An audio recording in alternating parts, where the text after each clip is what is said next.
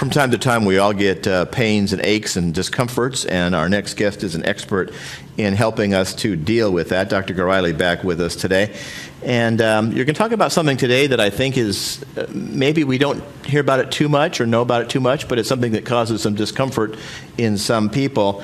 Uh, either facet or facet, depending on how you want to pronounce it. Uh, facet joints, what are they and where are they in the body? Good morning, uh, Rob. Uh, facet joints are uh, joints that help us move, basically help the spine move. Uh, the articulation of each vertebral body with the level above and below it is through these joints that we call facet joints. Uh, and you're absolutely right. Just because you have back pain doesn't mean that you have a problem with uh, a disc degeneration or a nerve impingement. Uh, there are several other structural issues that can cause back pain, and in the past we've talked about a few of those, sacroiliac right. joints being one of them.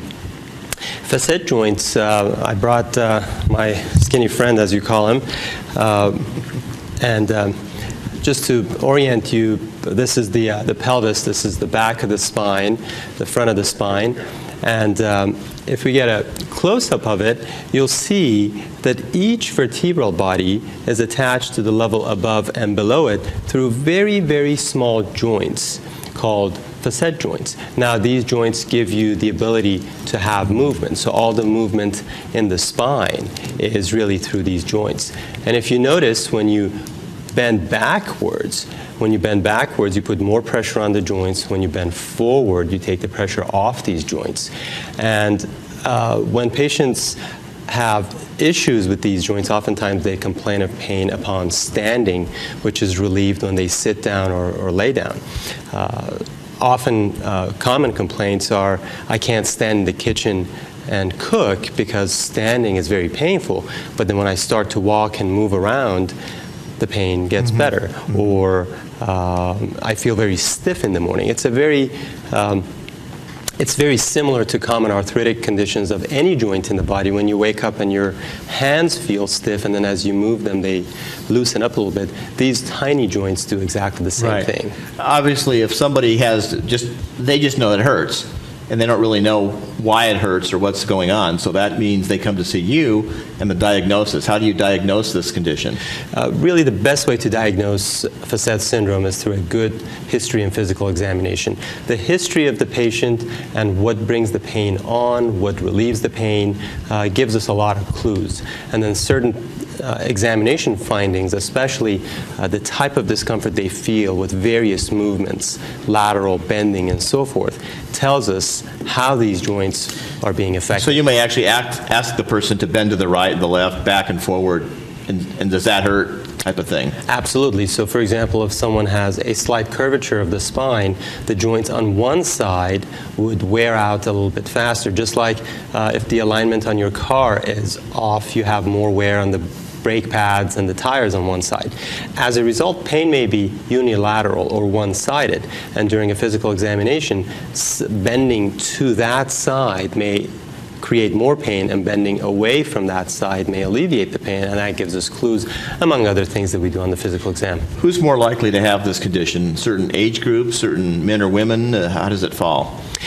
Majority of patients with facet syndrome tend to be the elderly population primarily because when the degeneration of the spine occurs and the discs start to wear, we lose height. Yeah. And as we lose height and the vertebral bodies get closer together, these joints also become more compressed and there's more wear and tear. Uh, however, people can develop facet syndrome because of trauma to their back, which has resulted in disc degeneration prematurely, uh, and uh, posture and a variety of trades. Uh, can lead to back pain that's coming from the facet joints. Well, once you've analyzed the situation and figured out that's what it is, how do you treat it? The first step in treating any arthritic condition is really the use of nonsteroidal anti-inflammatory medications to try and reduce the inflammation. Uh, the reason patients feel pain is because this is an inflammatory condition. So we recommend icing the back on a regular basis, uh, using anti-inflammatory medications, whether it's over the counter or through prescription, is really the first step. Uh, that can be combined with uh, various, various physical therapy exercises to specifically strengthen the paraspinous muscles in the back. The paraspinous muscles are the muscles that give you support and unload the joints and give you some uh, structural integrity. So strengthening those muscles. If that doesn't work, then we resort to steroid injections, and uh, you can really uh, get into more uh, interventional procedures by things like radiofrequency ablation, where you actually ablate the nerves that go to the joints to make sure that the joints are Yeah. no longer uh, sensed.